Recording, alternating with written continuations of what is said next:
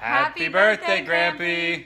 Thank you for all of our favorite memories and yummy dinners and fun times in Park City. We hope that you have an awesome birthday and celebrate big.